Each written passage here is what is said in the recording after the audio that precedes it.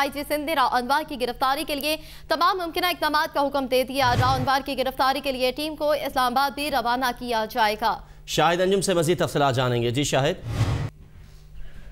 جی بالکل جو ہے تھوڑی دیر پہلے آئی جی سندھ کی صدارت میں یہ اجلاس ہوا ہے جس میں راؤ انوار کی خاص طور پر گرفتاری کے بعد میں جو ہے تمام افسران سے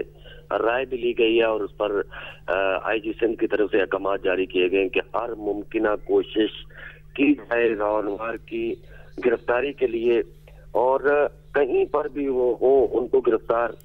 کرنا ہے، کیونکہ ان پر مقدمات جو ہے ایک مقدمہ درج ہو چکا ہے اور آج دوسرا مقدمہ جو ہے، وہ بھی جو ہو سکتا ہے کہ آج رات تک درج کر لیا جائے۔ تو اس سلسلے میں جو ہے، پولیس حکام کی طرف سے ہمارے پاس جو انفارمیشن ہے، اس میں یہی کہا گیا ہے کہ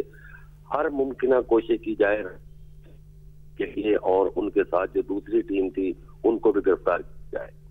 ہر ممکنہ کوشش کی جائے راؤ انوار کی گرفتاری کی، بہت شکریہ شاہد انجم، آپ اپڈیٹ کر رہے تھے۔